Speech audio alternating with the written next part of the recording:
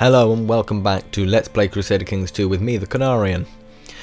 And we are going to actually do something this episode, and I'm going to quickly get through these. Title Loss and Succession, and what this means is basically that because we don't have an heir, we're going to lose everything, and that'll be the end of our game. And... ruler, unmarried. You should get married. I should get married. Um, right, so let's marry someone, shall we? We want to marry someone preferably, uh, preferably with the kind of similar traits to us, with good positive traits as well. Um, who's also preferably, I would say, I mean, we could basically just marry a 16-year-old.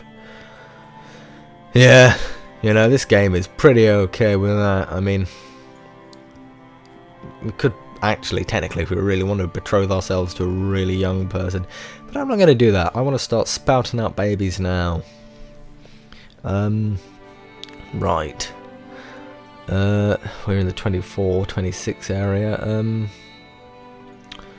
tell you what, we're going to do something better. We're going to go for find characters, because this is better for doing this, I think. Uh, no, not married. Gender, woman. Uh, religion, my religion group. Any culture, because it's not really going to matter. Um, right. I'm going to search all. We're going to start from 16 and work our way upwards. Right. Okay, this person's got good traits. Um, let's look. It's like shopping, but for people. Um, okay, so what are our traits that we want to try and carry on? Really, I want to try and carry on powerful voice, perceptive, and ambidextrous maybe you know um let's have a look. Or maybe just get some other ones like genius. If someone's a genius we want to marry them. Um calm voice. Maybe we should do that. Be interesting to see who gets the calm voice and who gets what. Hmm. I'm not gonna get that one? Master seductress no. Um right strong there. There's a strong woman. She could probably break my neck, she could, with that muscular arm. Um, a tall woman. Tall would be good. An attractive woman. Hmm. She doesn't look very attractive in a portrait, but we'll believe what it says. It's quite funny something when you can get attractive and get someone who's really not attractive in their portrait. Just kind of, you know, in the eyes of the beholder. Here we go. Here's someone that I like the look of. Uh, quick. Quick is the lesser version of genius, and it means they're brighter, and it just makes children better generally if you get them. She's got reasonably good traits. She's gregarious, uh, or gregarious if you want to pronounce it more correctly. Um, paranoid. I like paranoid because it actually helps you against intrigue. Um, ambitious, like us. We might pass it on to our children. She's charitable. A gardener. Quick. Uh, She's 16 too. Oh, it's lovely, isn't it? I, um, I'm going to look for a genius though, because I think that will turn out better for us. Uh, right, so let's just skim down here. Another quick, another strong. We've got an agile woman there. Um, there's someone who's deaf. Good for them. Uh, a tall woman, strong woman. There's a lot of tall and strong women. Um, there's an imposing woman. Ooh. There's a left-handed woman. Calm-voiced woman. Oh, dear me. Said woman too much. It's making it not a word anymore. Right. Here we go. He's a genius. Leonide. Uh, lovely name. And uh, she is a fortune builder. She's got really good statistics actually. Uh, she's lustful. Ah, combined with our lustfulness will produce so many children that no one will be able to stop us.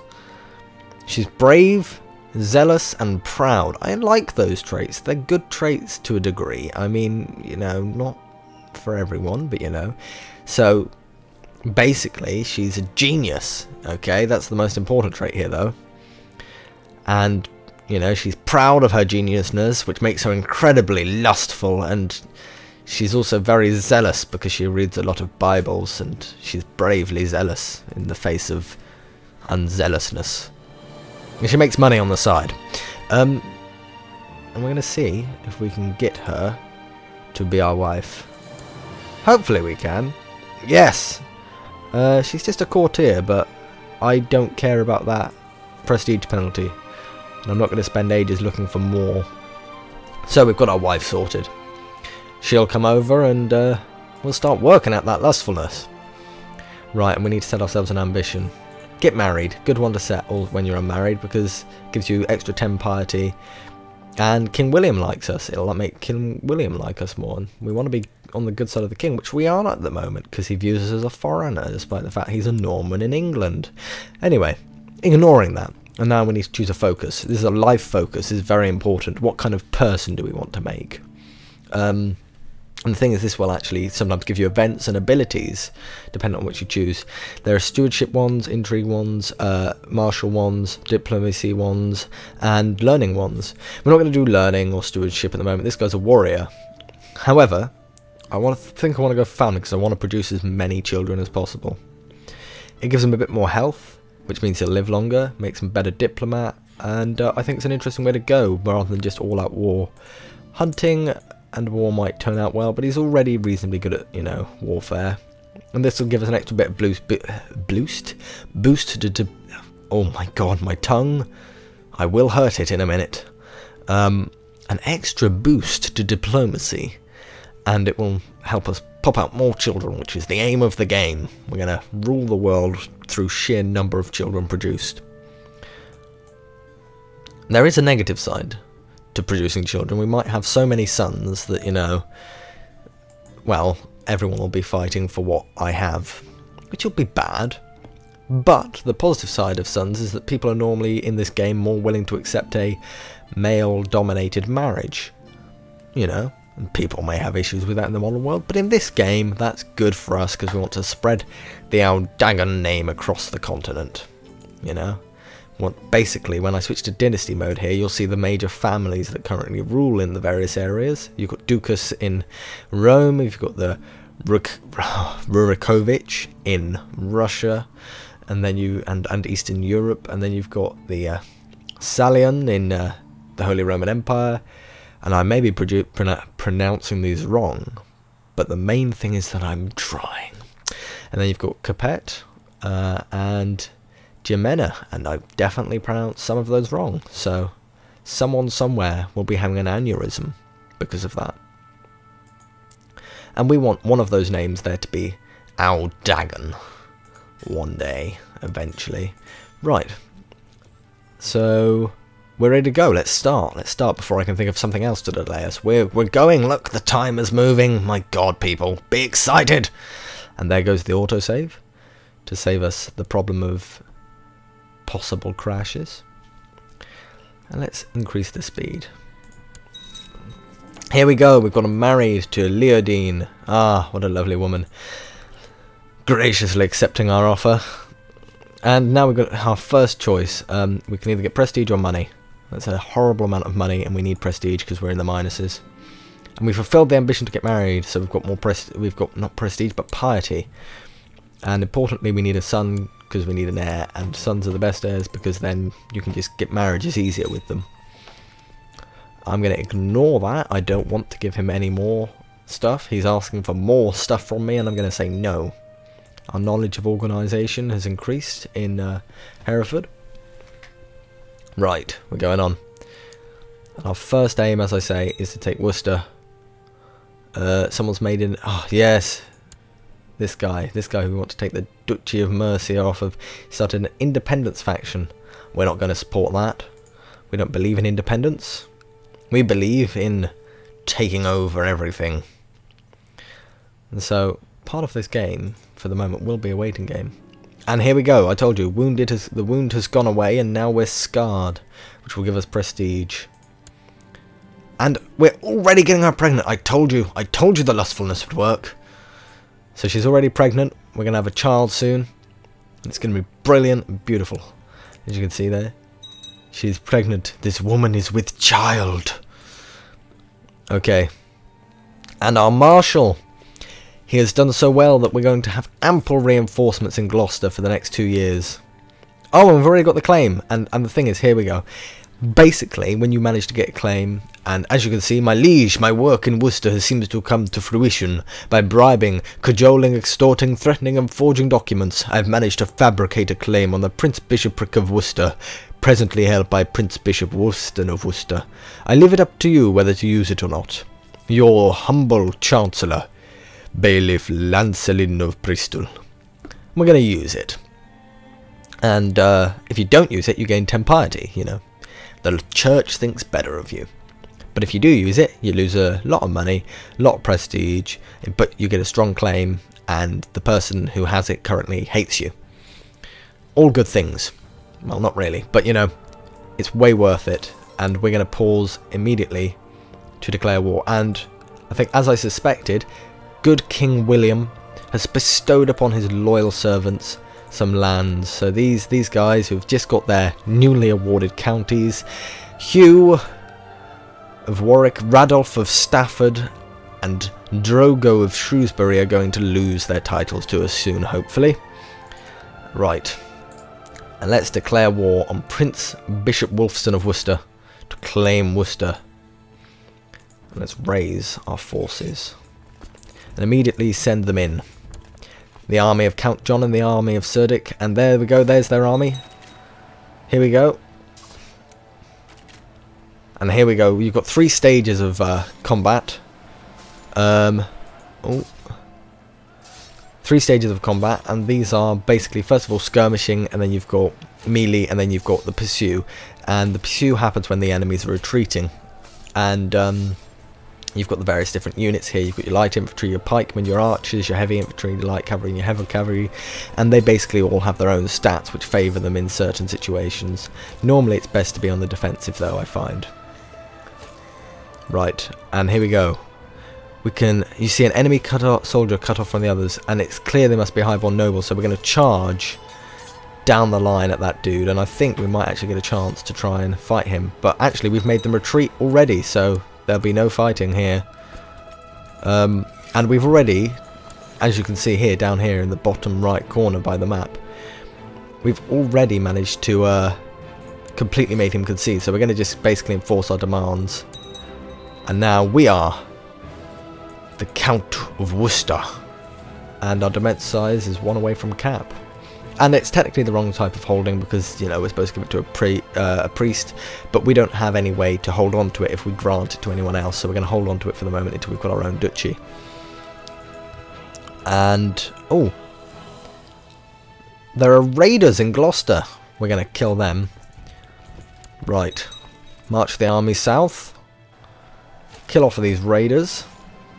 Ah, charging across the grounds again. And these minor messages, let's get rid of those. Oh my god, so many minor messages. And we won the Siege of Gloucester and we won the Battle of Bristol. And we sent them running away with tail between their legs. Oh, we had a, another army here that I forgot about. Right, let's stand down our force because they cost money to keep up. Right. Okay, that was successful. We've already achieved... Oh, let's get rid of these messages. Oh, we've already achieved our goal of getting Worcester, so let's move our Chancellor on and start taking over... Um... Oh, we actually need to consider this for a second. Okay.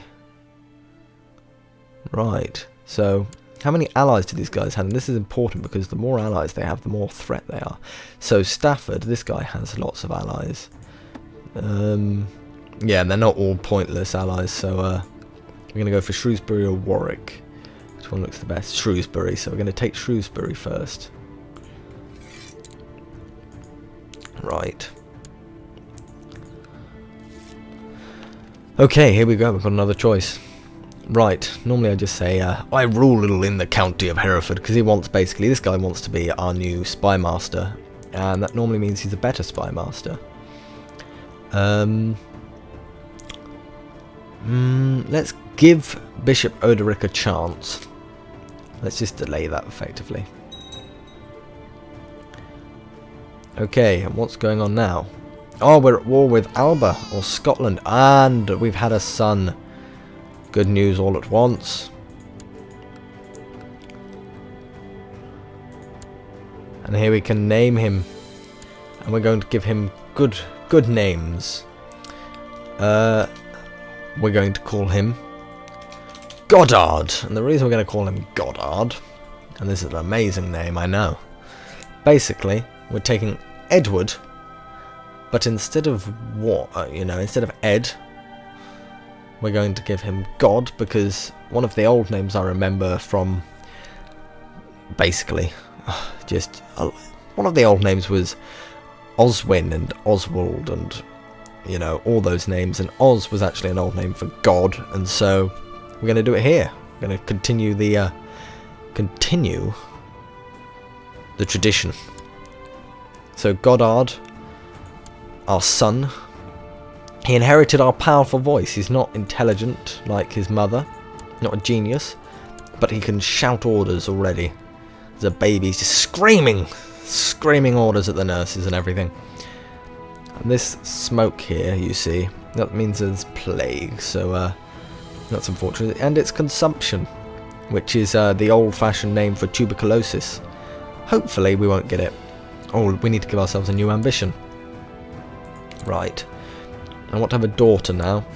Because you've got to have a good mixture of sons and daughters, you know. Daughters help you make alliances sons help you do other things. Ah, the uh, tuberculosis has spread to Hereford. And our knowledge of several things have increased. Right. Just need to hold on in there to get Shrewsbury. Okay, minor message. Okay, some people are already contracting consumption. Ah, wife has got... Oh, crap, our wife has got consumption. Oh shit. Well, hopefully she won't die. Ah. So, oh dear, this is not good. Our bailiff just died of consumption. Ah, sorry, not bailiff. Our bally, which is basically our steward. Let's make our wife our uh, steward. Hopefully she won't die. Because if our wife dies, that's just going to be bad. Um, Cerdic is a better spy master. Hmm. Does he like us? Hmm. I'm just gonna. It's not that much of a difference. It's not enough of a difference to really be, you know, valid to replace. Oh dear, she's got consumption. Uh, okay, we want our wife to get better. Is there anything I can actually do to make her better? I wonder. Let me think. Um, it'd be an intrigue in the decisions. Um, no, there's nothing I don't think I can do. I don't think I can do anything. So, hey, we'll we'll hold a a summer fair to cheer us to cheer us up.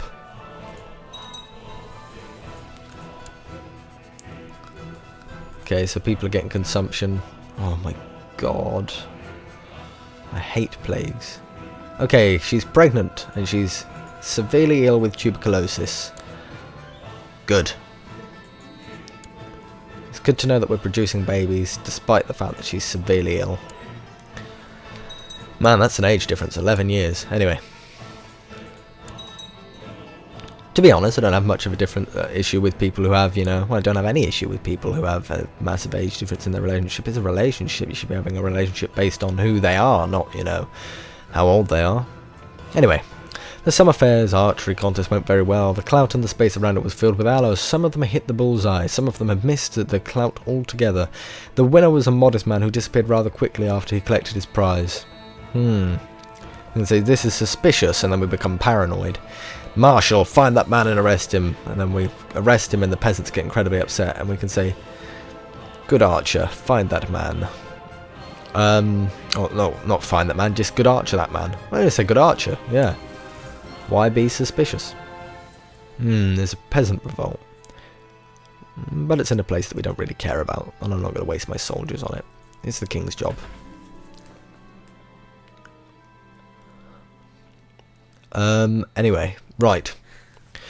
Now, when the alderman asked for permission for a summer fair, I would never have guessed I would regret that.